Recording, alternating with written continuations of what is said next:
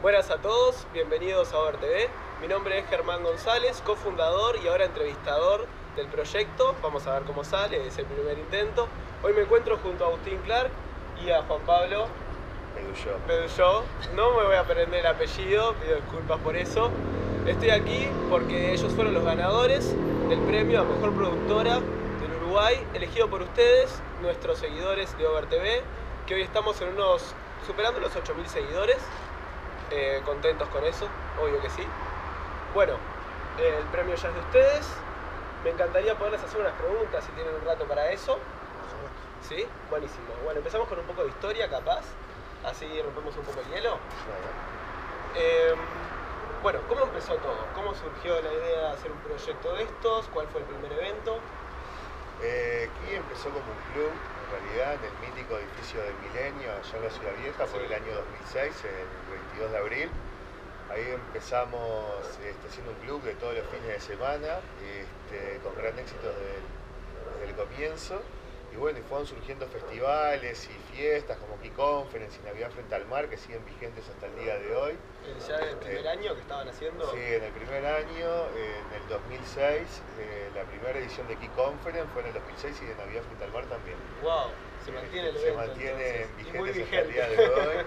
Este, y bueno, ahí fui- fuimos mutando, en el 2008 nos vamos de, de la Ciudad Vieja, simplemente porque se vence el contrato, el edificio lo compran unos españoles y, y solo por eso, ahí nos vamos para W Lounge, que le alquilamos una parte, hicimos con el club ahí. Y, y ahí un poco ya estábamos más con los festivales, también fuimos invitados por Álvaro Cuartino a, a producir Open Park, estábamos más mirando en festivales, en producciones puntuales y bueno, le hicimos mutar a, a productora de evento y no tanto boliche. Claro. Y bueno, y seguimos así. más.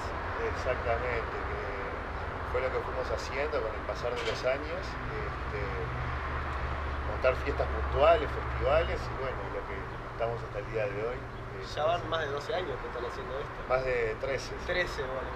Y te, te consulto, en esos 13 años, ¿ha habido algún momento en que la cosa se complicó? Que dijeras, pa, esto parece que no va para más. Y como todo en la vida, tenés altos y bajos que va subiendo y bajando. Hay uno que no me voy a olvidar nunca. En el 2012 tuvimos una seguidilla de, de eventos que no salieron bien. Este, fueron dos meses que pa, pa, pa, pa. Sí. Y yo digo, fa, no, no sé si quiero seguir con esto. Fue unos garrones bárbaros, esas fiestas que no anduvieron bien. Y se me presenta la oportunidad de viajar a Europa eh, con Marcelo Vidal, Chindou y Alejo Fernández. Marcelo gana un proyecto para L'Oreal buenísimo en Madrid para crear unos mapping todo y nos lleva a mí y a Alejo a trabajar con él, a mí un poco la parte de logística y producción de todo ese mapping y nos fuimos, ta, trabajamos en Madrid un mes, después teníamos unos días libres todo y yo decido ir a Ibiza. Voy para Ibiza, que era el primer año de, del Enter, de Richie Hottin, del musical de Marco Carola. Y bueno, estuvimos ahí unos cuantos días viendo todas las fiestas, aprendiendo muchísimo, viendo cómo era toda la movida. Y eso fue onda, todo lo contrario, en vez de querer dejar, de que "Oh, ahora tengo más ganas, más fuerza Volviste para... con todo y con buenas ideas. Exacto, para, para seguir adelante. Y fue un poco lo, lo que pasó. Cuando volvimos en agosto, ya nomás habíamos hecho, la última fiesta había sido See You Soon. Sí. Y cuando llegó fue Home Sweet Home. Y ahí arrancamos con toda. que estamos acá, así. este, exacto, y bueno, no paramos hasta el día de hoy. Yo creo que fue esa la, la vez que un poco pasó por nosotros y bueno, cortamos acá, pero no, fue todo de lo contrario, agarramos más fuerza. Me alegro por eso. Bueno, por eso ya me respondiste un poco la siguiente pregunta, que en realidad se trataba de que nosotros en- todos los consideramos como los pioneros en esto de la producción, siempre tienen las ideas más innovadoras, crean cosas que de verdad funcionan, no se encuentran con mucho bache, con ningún problema. ¿De dónde surgen todas esas ideas? ¿Eso son ustedes? ¿Lo ven en otros lados? Creo que lo más importante es eh, contarle que nosotros somos una productora profesional donde le dedicamos nuestra vida a estas fiestas, a estos festivales. Laboramos de lunes a viernes 9, 10, 11, 12 horas, eh, donde laboramos en todos los procesos del evento, o sea, desde la comunicación hasta planificación de, de lo que es el armado, la producción, la ejecución de las cosas. Eh, un poco por eso se refleja después eh, la calidad de lo, que, de lo que pasa en la noche, Claro. es algo que está trabajado y está estudiado y, y a nosotros nos gusta realmente que las cosas funcionen bien y que el público esté conforme. O sea, del momento que entra hasta cualquier fila que hace, está todo calculado de la mejor forma posible. Obviamente nosotros aprendemos de cada uno de nuestros eventos, sacando de las cosas buenas y las cosas malas. Es muy difícil que un evento funcione al 100% bien, nosotros siempre somos muy críticos para esos pequeños detalles que, que no funcionaron, también escuchando a la gente, cambiarlos y mejorarlos. Pero bueno, nosotros nos inspiramos, obviamente tenemos ciertos festivales, ciertas fiestas en el mundo que, que son nuestra, nuestra visión y obviamente no es que les copiamos, pero nos inspiramos en, los mejores del mundo, también viajamos, eh, nos movemos, eh, hablamos con los artistas y un poco todo eso genera, nos genera ideas y bueno, las vamos probando evento a evento también en función de, de los presupuestos y lo que podamos hacer. Una constante evolución de lo que se ve siempre de ustedes. Y sí, es que principalmente estamos profesionalizando los procesos y creemos que es hacia ahí, que, que hay que ir hacia ahí. Y bueno, y también eso, es pensar mucho en la gente y, y la comodidad de la gente en el evento. Sí. El nivel de las producciones que están haciendo es impresionante, lo repito. Y nosotros nos preguntamos, ¿no? ¿Cuánta gente está detrás de todo eso? ¿Cuánto personal necesitan para crear esas cosas así? Bueno, primero que nada, es el personal que labura toda la semana, que somos un equipo de 10, 12 personas. Es un equipo de 10, 12 nuestro, más la gente de pantallas, de audio, de luces. No, pero digo, fi- fijo en la semana somos un equipo de 10, 12, más luego se suman, previo al evento, capaz que dos semanas, unos do- 10, 12 más, más luego un equipo de 300, 400 que labura el día Sí, del evento. claro, ¿no? entre seguridad, etcétera, Sí. que Y lo más importante es eh, generar la estructura de laburo, que nosotros es lo que estamos logrando evento a evento y mejorando, que es eh, tener los encargados eh, importantes de confianza en cada área, donde tomen las decisiones correctas frente a cualquier situación. O sea, la misma decisión que tomaremos Juan o yo, Sí. sabemos que ese encargado que está ahí parado, lo va a, va a tomar la correcta. Suelen trabajar siempre con los mismos, ¿no? Justamente lo que, lo de la continuidad es lo que, nos, lo que nos está ayudando a mejorar y estamos logrando generar ese, ese gran equipo, esa gran familia. Aparte de ser amigos, o sea, somos colegas y bueno, laburamos todos para el mismo lado. Claro, se entiende. Voy con una pregunta un poquito más picante, que está un poco ya en la situación actual, que se ve mucho en las redes. Se habla mucho del costo de las entradas actualmente de tus producciones comparado con el costo de entradas de otros eventos. ¿Qué justificación le dan ustedes a eso? ¿Qué explicación aprovecharían para darle al público con respecto a esos costos?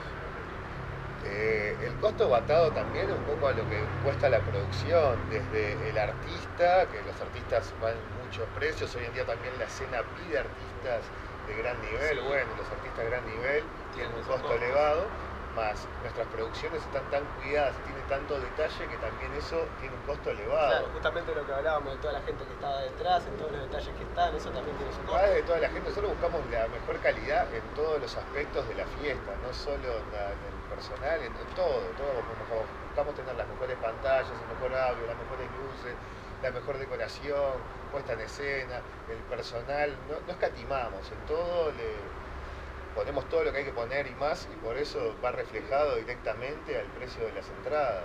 Claro, sin duda. Su- Sumado a que eh, Sudamérica es el mercado que paga más caro a los artistas. Sí. ¿ah? No solo eso, sino que son en dólares. Si el dólar sube, a nosotros nuestros costos suben. O sea, Claro. nosotros no es que.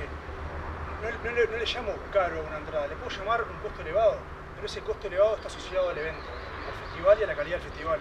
Por ejemplo, vamos directamente a hablar de Resistance, estamos hablando que es una de las fiestas más importantes del mundo, con una duración de, don- de 11 horas, 5 artistas internacionales y 2 nacionales.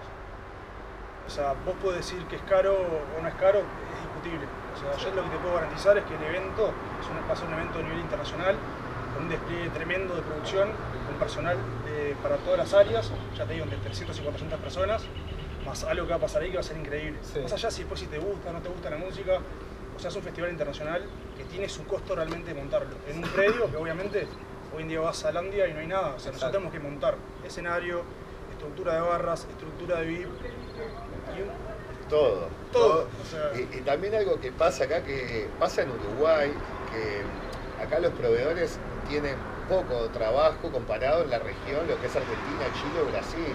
Acá lo- los proveedores que compran equipos, bandejas o lo que sea, tienen mucho menos eventos para descontar esos equipos que lo que hay en Argentina, También Brasil. te lo van a cobrar más caros. Entonces es evidente así que no nos queda, es lo que les queda a ellos, que subir un poco los precios comparado con la región. ¿no? Claro.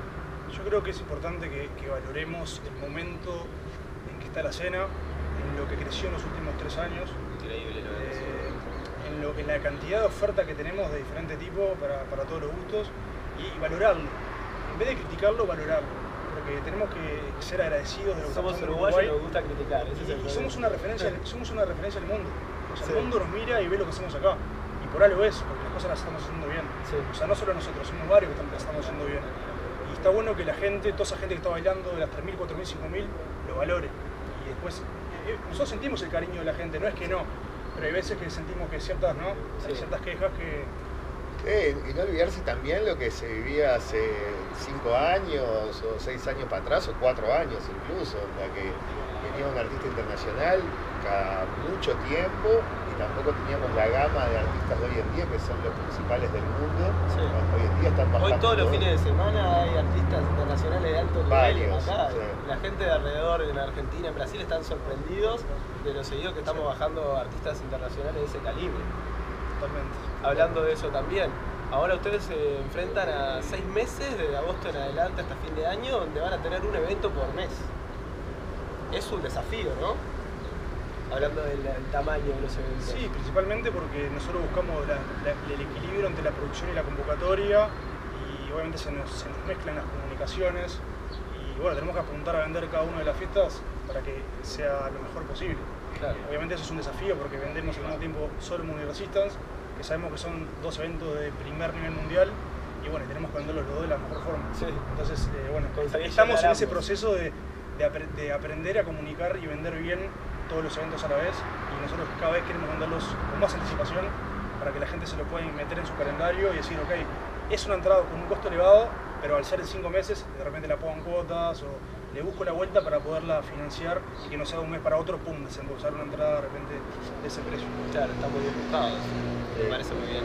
Bueno, como para cerrar un poco, consultarles entonces qué tienen ahora de planes a futuro, si nos quieren adelantar algo, qué hay en adelante ahora para aquí producciones. Bueno, un poco lo, que mencionabas vos, tenemos Resistance el 11 de octubre en Landia, eh, después tenemos Solomon, 3 de noviembre y para cerrar el año el clásico de Navidad frente al mar, este, con un line-up exquisito que ya se va a develar en estos días, pero traemos muy buenos artistas, este, como siempre. No sé, Agus, si querés agregar algo más. Y para adelante creo que para el año que viene es mantener eh, los eventos que sabemos que, funcionan, sabemos que la, la gente le gustó. Eh, obviamente seguir mejorando y apuntando a traer mejores artistas, cada vez mejores mantener el nivel de producción y bueno, y, apostando cada vez a más. Un poco ese es el objetivo nuestro. Y bueno, alguna sorpresita vamos a tener por ahí que Sí, seguro. Me gusta. ¿Y algo en el verano? ¿Alguna cosa como el After Beach? ¿O no, quieren adelantar nada? Eso lo Todavía estamos ahí. Seguro algo va a haber, pero estamos ahí. Estoy con mucha ganas de ver los eventos que siempre logran un nivel impresionante. En unos días vamos a poder contar más del verano. Buenísimo. Bueno, eso sería todo entonces. Fue un gusto para mí poder estar acá. Me alegra mucho poder compartir con ustedes y bueno, espero podernos ver próximamente. Ganadores del premio a Mejor Productora de Uruguay, elegidos por ustedes. Me despido, yo soy Germán González, Austin Clark, Juan Pablo. Pedro yo. Hasta la próxima.